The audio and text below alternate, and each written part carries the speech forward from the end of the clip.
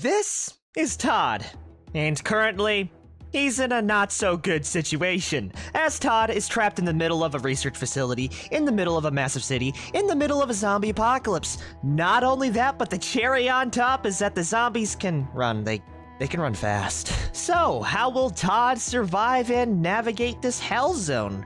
By taking it to the roofs, of course, making our own highways and setting traps in order to travel from building to building. If we survive long enough, we might just be able to make it to the border checkpoint, where supposedly a helicopter lies, just waiting to whisk us away from this nightmare. Though that's gonna be a while from now. It's gonna be a test of survival until then. Also, before we get started, Ricksdetrix Roof Sprinter series is what really got me inspired to make my own challenge, so go check them out as well, link in the description. Welcome everyone to another series for Project Zomboid. Uh, I'm sure this isn't how Todd envisioned his uh, Saturday evening. At all. Currently, we are trapped inside the Finnegan Research Facility within Louisville, Kentucky. The apocalypse took over pretty fast, but Todd here was able to shut down the stairs before the zombies could get up, so this place is relatively secure. As much as I would hope, at least. uh, being a janitor and all, we have a few necessities that we did start with. A lunchbox filled with some fast food, cigarettes, a broom, welder goggles, a hammer, a saw, a propane torch, and an assortment of just random mishmash that might come in handy later. Looking down there, I realize that we're not going to be able to get out much, so I think we ought to explore this whole facility just a tiny bit to figure out what the hell we got going on around here. It's gonna be a lot of useless junk like this place. It's just a bunch of offices, but you never know what we could find. Though I am hoping we find a bunch of electronical supplies and uh, hopefully desk chocolates. That would be pretty nice. I mean, gosh, look at this place. It is absolutely filled to the brim, and we have ourselves a quick little break room. Let's go check that out. We got a garbage bag, an empty bottle, which I can use for a water bottle, post-apocalyptic nights, a single bag of chips, and a single soda. Matter of fact, I might honestly drop off my toolbox here because it only has a 15 weight reduction and an 8 capacity, compared to a garbage bag which has 10, which is a little bit less but more uh, actual capacity. Yeah, I think that'll be a good call. It gets the same job done, and how about we just empty out our lunchbox as well? I decided to spawn in with a little bit of food because, you know, being in an office research facility and all, I was kind of doubting I'd be able to find much food supplies. So we'll just shove these bad boys right on in there. Okay, on to the third story then. Thankfully, everything up past the uh, first story is going to be relatively zombie free, so we don't need to worry about too much going on, but I'm still kind of worried at the same time. We have a set of offices within here. The cubicles would do very good for fighting sprinting zombies. And not only that, we have ourselves a pencil, which is pretty awesome as we can now mark down exactly where we are at all times. Ain't that pretty cool? I need to find an eraser. Now, as I am searching through these desks, I'll be completely real with you. I'm going to need to do a lot of strategy if I am to survive this nightmare. And ooh, is that a boombox stereo and some cigarettes? Well, all right. Whoever was in this cubicle knew how to party. I'll take that right now, though we are going to need to drop it off later. But anyways, like I was saying, and with this uh, boombox we got here, we're going to need to use strategies, like making noisemakers, setting up radios, televisions to try and distract the hordes, so we have enough time to loot around the area, because we are playing on insane population. Just something to keep in mind, you know? Hey, there's our eraser. I, I, I can also eat the eraser should it get hard enough, but I don't think we're there yet. For now, I'm literally going to be taking everything, including the radios, as those would do very good for a quick distraction. A prolonged distraction at that. Ooh, okay, we have ourselves a nice little break room. Well, I think this would be the best spot to actually set up a quick base camp. It's not up near the roof, which I'm kind of sad about, but Everything else, I mean, we have fridges, and nice couple microwaves, a coffee maker, some lockers for storage, and a couple of couches to sleep on. And not only that, we have ourselves a, uh, a nice little succulent. Isn't that great? Yeah, yeah, yeah, we'll set up right here. So what do we got in these lockers as well? A couple of uh, cassettes, crossbow bolts, a bunch of old school RuneScape uh, cassettes. I thought it'd be a good one to use that isn't copyright free if we do need to, you know, really set the mood and set up a nice distraction. And a power of air pressure guide. I was hoping for like a bag, but we did not get that lucky. Okay, let's go set up all of our stuff now and, you know, kind of get stuff organized. I'm going to be taking everything inside here and setting them up in the fridges. Oh yeah, that's not bad at all. Though I am gonna go ahead and grab all of our fresh food and pop that in the freezer while we still have it to go around. We're gonna need to ration these out for a while, so making it last as long as possible is always perfect. Okay, time to drop off our radios. We'll set up a nice pile here. There we go, we got a nice little pile set up with our bulk crafting supplies, and in this one, our electronic crafting supplies. It ain't the best right now, but it sure is a good start. I mean, if we're gonna be here for a while, we'll might as well make it feel like home, you know? So, what else do we have around here? A couple of bathrooms that'll be perfect for pipes, metal bars, a big old set of filing cabinets, which are basically useless to me right now even more offices, which I bet have a whole abundance of radios and other goodies for us to yoink. I'll be real though, most of this is going to be materials for us to bridge over to the nearby buildings, because we are very far out from anything close by. And even the things that are close by are going to be infested by sprinter zombies, so am I really gonna make it far? But this is going to be my actual hub for uh, moving between places. And that is because if we uh, smash this out really quick, remove this broken glass, and hop on out, we have ourselves a free avenue to uh, begin our bridging needs. Uh, you know, we could go to those homes up there, we could go north. The main thing is that this has multiple areas for us to leave from, right? A lot of options is something you really can't go wrong with. I mean, we could go literally from anywhere from this story. So I think it'll be the best one for us to be for our base camp. Other than that, though, I'm just gonna go grab anything crazy like radios, boomboxes, stuff that makes a lot of noise. And of course, a copious amounts of cigarettes. We already got 140 of them bad boys, so we're set for life.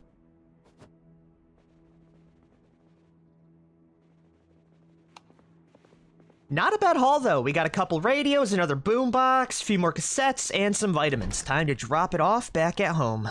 You know, I really do feel like Todd is not going to enjoy his time here in this series, judging from his moodles already. But hey, nothing a quick Siggy can't fix. That should, uh, stop us from being so anxious. Won't help with the boredom, though. And now that we're chugging this soda down, we can head up to the next story. This is where stuff starts to get a little bit funky, and, um, the whole logistics of this research company starts to scare me to my very core. uh, I did mention we were in a research facility, right? Oh, cool, hand torch. Anyways, like I was saying, stuff starts to get a little bit weird with the armored, locked off doors for no real reason. Actually, so locked that we're gonna need to bust through with a hammer and screwdriver.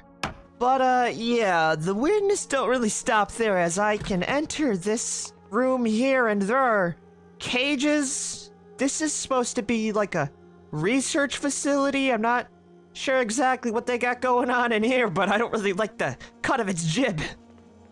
But hey, we got a lemon and lime. That's food. Hell yeah. Who am I to judge? You know, who am I to look at these animal cages and these dissection tables and think something's wrong? I just get paid to clean stuff up, you know, so I, I see no problems with it. And hey, we got ourselves some medical supplies in here. That That's pretty damn epic. I don't see myself getting wounded much, but it sure is a nice thing to know that we have it. That uh, seems to be it here, though, so I'm gonna go explore some of the other areas that we haven't been to. Up next, we have another armored door, which I can easily just bonk my way on through. That's the power of being a handyman in a not-so-handy situation. We got another staircase up. Scarily, it's the only staircase up in th this entire building to, like, go to the fourth floor. And it looks like we have ourselves a nice security office. Ooh. Ooh. Okay, I mean, you know, they're a big fan of their RuneScape soundtracks, but more importantly, we got a holster, some 9 mil rounds, which will do great as a distraction. An M1005 revolver. Okay, nice 38 snubby, I'll take it. 10 extra rounds, and one more box of uh, 9 mil. Now, uh, I'll be real. Guns in this series are to be less of a uh, offensive weapon than more of a distraction for me to use to move these idiots all around the area. But it's still it's kind of reassuring to have a little bit of heat, you know? I don't get paid enough for this job is what I'm trying to say. On to the next story then. Which uh, includes even more offices. Why am I not surprised? Yeah, I really don't see these being any use really at all other than just extra planks for us to build with. But it's still pretty cool that this place is so big, filled with the most useless things. We got some pliers. That's pretty epic. I should be checking the trash more often. Oh, man. Oh, we have even more testing facilities. These seem a little bit more ethical, though. You know, they're just microscopes. A, a, a lot of microscopes and computers. Is that it here? I was kind of hoping for, I don't know, something cool. What do you got in the fridge? Bacon, tomato, and cheese. W what else? And three things of ice cream. Yeah, that seems to be it here. I guess I'll go grab, uh, all the food. And I will see you all in the morning. Alrighty, welcome back. It's day two already. We're a bit hungry, we're a bit bored, and we're a bit weepy. I think we ought to start our morning like we always oughta. And that's with a cup of joe. So let's go fill up this mug that I grabbed. Add in a little bit of coffee, a sugar packet for a little bit of sweetness, and a squeeze of your favorite fruit ever, lime. This will be a good breakfast. So let's go pop the bacon in the microwave and get this coffee cooking up with the good stuff. There we go. Oh, it's ready. We got our bacon and our coffee. All right, let's go chow this good stuff down now. Delicious and nutritious to start off today's big day. And of course, a cigarette to wash it all down. I think it's time we explore the rest of this building to see what kind of secrets it has, and then it's, uh, gonna be a big old plan for the future. I don't know what's really outside from this research facility, but we're gonna figure that out together. Ooh, nice little break lounge with a couple of potatoes. Sadly, no seeds, so we can't cultivate these, and even if we could, we don't have, uh, we don't have dirt to plant, you know, plants with, so we're gonna be relying off of, uh, all this food that we've been getting for a while. But it's quite the haul. And not only that, we have ourselves a few good beds up here. Oh my, I might need to take this, uh, for our break room later. Yeah, give me that bad boy. Someone definitely died on that testing for a zombie virus, but who am I to judge? A comfy bed is a comfy bed. And look at that, we found ourselves the next staircase. I don't know how many more levels are up here. Let's let's actually just go to the top right now. Ah! Oh my god! Why is there a zombie up here? Oh, okay, okay. Oh, sir, get down here right now. The janitor needs to clean this up. What do I do? What do I do? What do I do? What do I do? What do I do? I, I I thought I was the only one in here. Sir, if you don't come down here, I'm gonna have to go up there myself, and I'm gonna I'm gonna have to dunk on you. And I don't want that to happen to you. You seem like a reasonable person. He's not reasonable. He's infected with the madness. Here he comes. Ah! Get back! Back! Back, demon! Ah! Oh my god! Sir! Oh god, it broke! Ah! This'll teach you to step in my facilities. All right. Pack them up, boys. We uh, we solved the problem.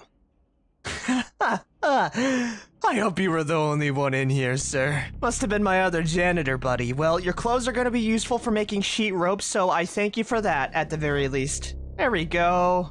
We're back at the status quo. You can, uh... We're gonna need to clean this up later, aren't we? Um, I'll remember, actually, I have a perfect idea to get rid of this corpse. Hold on here. If it's outside of my building, it's not my problem, so we're just gonna go pick up our friend Amundo here. And just throw his corpse out the window. I'm sure you'll be fine, buddy. Bye-bye. Okay, so it looks like we got some more offices here. why am I not surprised? The main thing is the amount of cubicles we have. These things are gonna be my bread and butter and gonna be the only reason why we survive this nightmare. But let's see if there's anything good inside. Cigarettes, scissors, glue, crossword magazines, which I need to uh, stave off the boredom. Oh yeah, our, our character's not bored anymore. That who, who would have thought that? The cure was right in front of us the entire time. What else could I say? Oh, we even got ourselves some playing cards. That, that's a good way to spend our time. A few radios. We got like we got more than enough radios, I feel, for us to survive for quite a while and use them as persistent distractions. The cool thing is, is that they last for a very long time. But uh, what else do we got around here? Another office with a nice plant. I might have to take that later. A smaller office with a smaller amount of loot, I feel. Even more radios. Oh gosh, we have so many radios. I might dismantle two of these right now and then save the last one as a distraction. There we go. Actually, I just dismantled all three. You know what? It's parts. Ah, uh, dang it. Oh, a gunsmith journal? I love making homemade firearms. In Project Zomboid. Don't kill me, ATF, please. We got a briefcase, which is absolutely useless. Oh, so many cigarettes, lighters, erasers. I'm just gonna... Yeah, you know, desperate times call for desperate measures, brother. Yeah, that'll pad out my stomach contents. Tool disassembly, more vitamins, a big old board meeting room. I all I can smell is the planks and uh, metal scrap that will come out of that. And lastly, a really nice reception area. Holy crap! This is at the top story as well. Wow. Okay, this is pretty epic. Even got like little brochures up here. Oh my! Engineer Magazine Volume 1. That allows us to make noisemakers, remote controllers. Oh yeah, and is that a recipe for Jankomite? Actually, I can't read it. Probably because I already know how to make Jankomite, but that's still pretty cool. Other than that, we have four annotated maps, six Louisville maps, which is perfect for me. Let's actually read these right now.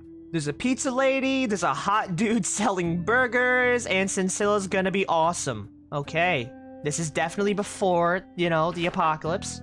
What else do we have here? Uh, more bathrooms. Okay, I'm guessing this is more bathrooms. Yippers. Anything in the trash? Uh, garbage can and a pop can.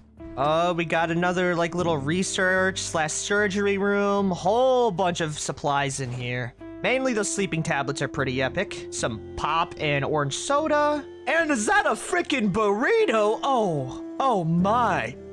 Yeah, don't mind if I do. Oh gosh, these guys are eating like kings. Hell yeah. I'm taking the rest of these for snacks later.